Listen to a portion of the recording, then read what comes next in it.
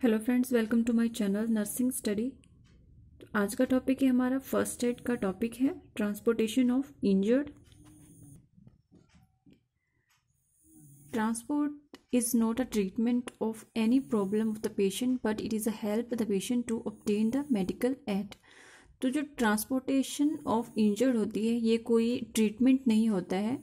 तो इसका मतलब है कि पेशेंट को एक जगह से दूसरी जगह पर लेकर जाना, या फिर किसी इंजर्ड पर्सन को इंजर्ड पर्सन मीन्स किसी को चोट लगी है, या फिर किसी पेशेंट की सर्जरी हुई है, उसे मान लीजिए कि उसे ऑपरेशन थिएटर से आफ्टर सर्जरी ऑपरेशन थिएटर से उसे वार्ड में शिफ्ट करना या फिर उसके पर्सनल रूम में शिफ्ट करना। तो ये क्या है? एक जगह से दूसरी जगह लेकर के जाना, यानी कि उसको ट्रांसपोर्ट करना एक जगह से दूसरी जगह। तो ये भी एक फ़र्स्ट एड का एक टेक्निक है, ये भी एक मेडिकल एड है एड है। तो इसमें आ जाता है प्रिंसिपल ऑफ़ ट्रांसपोर्टेशन तो ट्रांसपोर्टेशन के प्रिंसिपल क्या क्या होते हैं?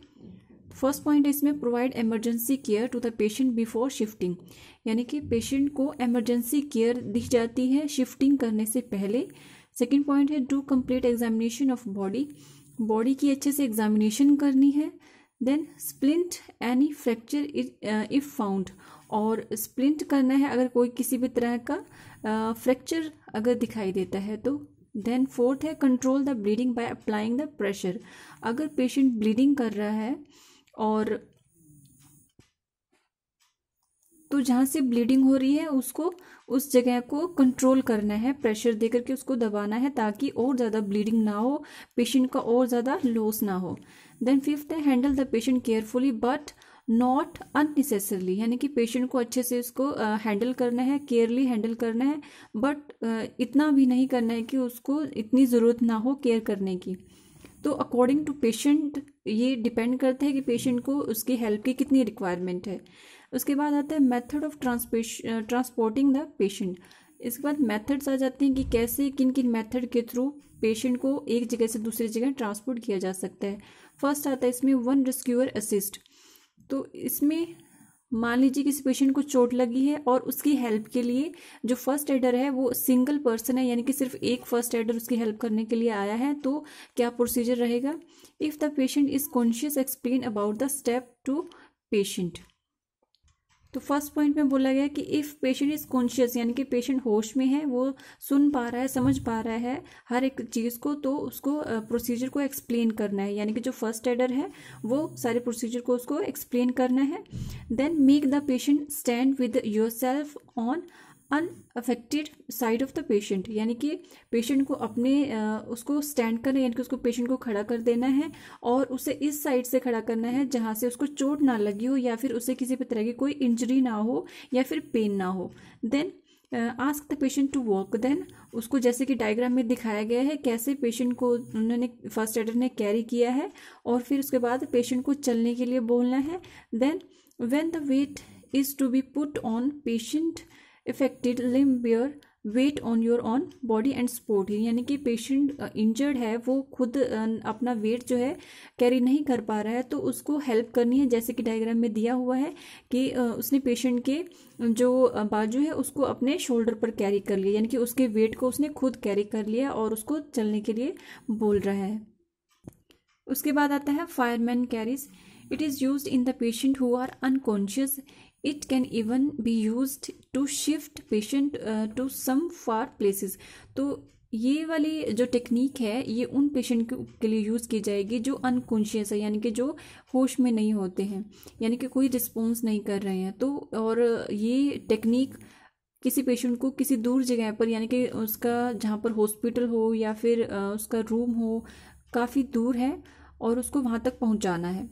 देन प्रोसीजर क्या होगा इसका? Make the patient is kneeling position यानी कि पेशेंट को नी uh, पोजीशन में लेकर के आना है। Then now the first aider put his hand under patient's armpit to support him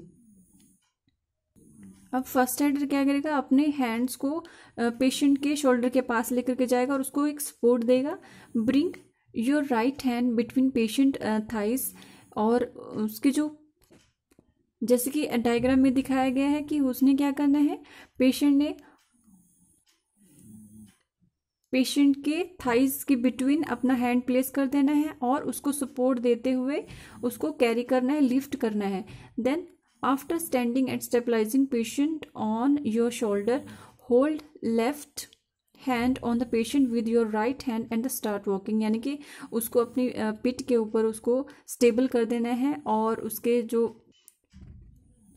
और लेफ़्ट हैंड जो है वो पेशेंट की तरफ़ होना चाहिए और तो उसको कैरी करते हुए ताकि पीछे से उसको सपोर्ट मिल सके और फिर वॉक कर करके उसको लेकर के जाना है। उसके बाद आ जाता है पिगी बैक कैरी जैसे कि डायग्राम दिया दिया हुआ है इसमें कि कैसे उसने उसको पिगी बैक कैरी करके एक जगह से दूसरी जगह पहुँचाया है। In this method of the carrying patient to some distance who have fracture of limbs, यानी कि इस, ये प्रोसीजर तब दिया जाता है अगर पेशेंट के लिम्स में किसी तरह का कोई फ्रैक्चर आ गया हो, यानी कि वो वॉक नहीं कर पा रहा है तो उसे पिकी बैग कैरी करके एक जगह से दूसरी जगह पर पहुँचाया जा सकता है। प्रोसीजर में इसमें explain the method to the patient यानी कि पेशेंट जो है, इस पोजीशन में क्या होगा? कॉन्शियस पेशेंट होगा और उसको मेथड को पूरा एक्सप्लेन करना है। सेकंड पॉइंट है stand in the front of casualty facing him यानी कि पेशेंट के सामने खड़े हो जाना है, यानी कि फेस टू फेस खड़े हो जाना है। Then after making casualty erect back the casualty यानी कि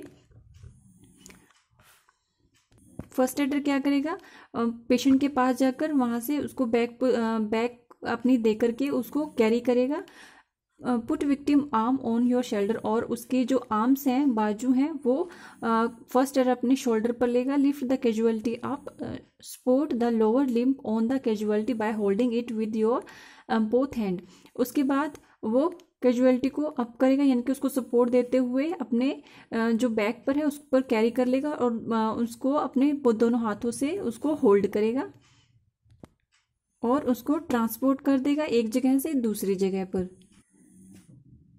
इसके बाद नेक्स्ट मेथड आता है इसमें cradle carry this method is also useful to carry patient to the long distance even when there is a no rescuer तो इस position का कब, यानी कि इस मेथड का कब यूज़ किया जाएगा? जब किसी लॉन्ग डिस्टेंस के लिए पेशेंट को एक जगह से दूसरी जगह लेके जाना हो या फिर कोई आसपास कोई रेस्क्यू और उनको नहीं दिखाई दे रहा हो। तो प्रोसीजर में क्या आएगा इसमें? In this one carries the casualty on his arm as if we carry a baby यानी कि इसको, इसमें क्या होगा कि पेशेंट को इस तरह से कैरी करना है जैसे कि एक बेबी को कैरी किया जाता है। यानी कि उनको अपने आर्म्स पर कैरी करना है। This method can not be practised for heavy patient लेकिन ये मेथड हैवी पेशेंट के लिए जिनका वेट जिन पेशेंट्स का वेट ज़्यादा होता है, उन पर ये मेथड नहीं अपनाना है। जैसे कि डायग्राम में दिखाया गया है इन्होंने, देखिए इन्होंने कैसे अपने हाथों पर, बाजू पर कैसे पेशेंट को कैरी किया हुआ है। उसके बाद आता है drag method this method can be practice either on the blanket or a strong cloth तो ये मेथड किस पर कैसे प्रैक्टिस किया जाए? या तो कोई ब्लैंकेट या फिर किसी स्ट्रॉन्ग क्लोथ के साथ इस प्रोसीजर को किया जाएगा? Place the patient in the spine position on a blanket यानी कि पेशेंट को ब्लैंकेट के ऊपर सुला देना है स्पाइन पोजीशन में and knee near the head of the patient work on your knees and drag the patient उसके बाद आता है टू रेस्क्यूअर असिस्ट अगर दो रेस्क्यूअर यानी कि जो फ़र्स्ट एडर हैं दो फ़र्स्ट एडर किसी पेशेंट की हेल्प कर रहे हैं then four handed seat method In this method, the two rescuer use their hand to make a seat on which the victim sit. तो इसमें क्या करें कि एक पेशेंट जो है वो किसी सीट पर बैठा है या फिर चेयर पर बैठा है तो इसमें टू फ़र्स्ट एडर हैं यानी कि टू रेस्क्यूअर हैं तो वो अपने चार हाथों से मिलकर के उसको सीट के साथ ही विक्टिम को एक जगह से दूसरी जगह पर वो पहुँचा देते हैं। प्रोसीजर क्या होगा ना इसमें two of the rescuer face each other kneeling on knee तो इसमें क्या है? दोनों रेस्क्यूअर एक दूसरे को फेस करते हुए अपनी नी को बेंड करके पोजीशन लेते हुए पेशेंट को कैरी करेंगे। Both the rescuer stretch their hand in front और अपने दोनों हाथों को क्या करेंगे? वो स्ट्रेच करेंगे फ्रंट पे। Then each rescuer hold his his right wrist by left hand and with the right hand he hold other rescuer left wrist तो यहाँ पर रेस्क्यूअर क्या करेंगे? उनकी जो राइट रिस्ट है, वो अपने लेफ़्ट हैंड से होल्ड करेंगे and right hand right hand से दूसरे रेस्क्यूअर की लेफ़्ट रिस्ट को वो होल्ड करेंगे। तो एक तरह से क्या उन्होंने एक चेन बना ली है। A seat is then created for the victim to sit और एक तरह से उन्होंने एक सीट बना ली है। उन्होंने दोनों ने एक दूसरे की रिस्ट पकड़कर जो है एक चेयर बना ली चेयर टाइप सीट टाइप बना लिया है। उस पर विक्टिम को बिठा करके उसे एक जगह से दूसरी जगह वो ले जाते हैं। एंड फिफ्थ पॉइंट है इसमें the rescuer then stand up and walk slowly with the patient sitting on the in that seat और उसके बाद रेस्क्यूअर क्या करेंगे? पेशेंट को धीरे धीरे थोड़ा सा वॉक करवा करके उसको सीट पर बिठाएँगे और उसको ले जाते हैं एक जगह से दूसरी जगह पर। जैसे कि डायग्राम में दिखाया हुआ है, इन्होंने कैसे पेशेंट के लिए एक सीट बनाई है। यहाँ से देखिए, यहाँ पर एक उन्होंने एक एक रेस्क्यूअर ने दूसरी रेस्क्यूअर की रिस्ट को होल्ड किया और एक बैग से, जो कि अभी डायग्राम में नहीं दिख रहा है, लेकिन बैग से आप देख सकते हैं कि उन्होंने दूसरे रेस्क्यूअर की रिस्ट को होल्ड करके एक तरह से सीट बनाई और पेशेंट को उसके ऊपर बिठाया और उसे ट्रांसपोर्ट किया। देन उसके बाद आता है थ्री रेस्क्यूअर सिस्ट अगर तीन रेस्क्यूअर आ जाते हैं तो वहाँ पर कैसे प्रोसीजर किया जा सकता है? This is nearly same as four-handed seat carry except in this an extra support is provided from the patient's back. तो ये भी वैसे ही रहेगा जैसे कि टू रेस्क्यूअर कर रहे थे। तो लेकिन यहाँ पर थोड़ा सा ए, अगर एक और रेस्क्यूअर आ गया है तो उसकी बैक को सपोर्ट करते हुए पेशेंट को कैरी करना इजी हो जाता है। प्रोसीजर क्या होगा इसमें? Both rescuer knee on the position knee facing the each other तो इसमें भी इसमें क्या होगा कि जो रेस्क्यूअर है, वो भी एक दूसरे को फेस करेंगे। First rescuer with his right hand hold his own left forearm and with his own left arm is grasp the left arm of the other rescuer तो आप ये डायग्राम देखिए, अगर थ्री रेस्क्यूअर्स हैं तो कैसे इन्होंने इसका जो है एक तरह से एक चेन बनाई है। अपने उन्होंने हैंड जो है रिस्ट जो है पेशेंट के कमर में डाल दिया है और एक तरह से उन पेशेंट के लिए एक सीट रेडी हो गई है और पेशेंट को ऐसी पोजीशन में ले जा करके उसे एक जगह से दूसरी जगह पे वो ट्रांसपोर्ट कर देते हैं। तो आप एक और डायग्राम देख सकते हैं, इसमें भी ऐसे पेशेंट को कैरी किया गया है। थ्री रेस्क्यूअर्स हैं। इन्होंने इस मेथड से in this method three of the victim kneel at their on knee यहाँ पर यहाँ पर नी पर बैठे थे वो। यहाँ पर वो स्टैंड होकर के पेशेंट को कैरी करके सीट बनाकर पेशेंट को कैरी किया है। Then rescuer first knee near the head end side of the bed यानी कि उसके जो नी है उसके पेशेंट uh, की जो फ़र्स्ट रेस्क्यूअर है वो बेड पर रख देगा। पेशेंट के नी को बेड पर रख देगा then second rescuer near the hip और वो जो हिप के पास में है जो रेस्क्यूअर वो धीरे से हिप की साइड जो है शिफ्ट कर देगा पेशेंट की और थर्ड जो है वो फुट और साइड तो ऐसे से धीरे धीरे एक एक पोर्शन करते हुए वो, वो पेशेंट को बेड पर शिफ्ट कर देते हैं।